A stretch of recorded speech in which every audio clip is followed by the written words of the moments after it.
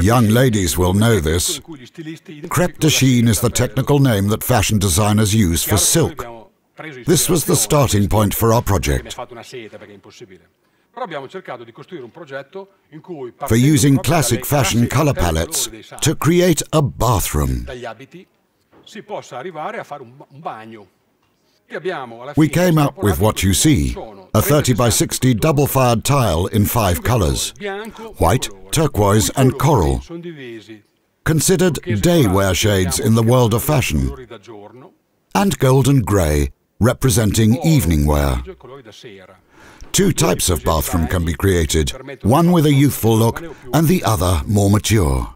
Then we looked at fabrics that made fashion history and presented them in our own way. We took some shots from the latest catwalk shows, as you can see in the images, developing the patterns in corresponding shapes and styles. The result was appealing fitting solutions, for example, with a pink coral wool set against a white wall with striped pattern. This is another example. The jacket with these flowers on a denim fabric was faithfully reproduced on tiles. And this is an example of tiles fitted with a decorative band alongside a turquoise band.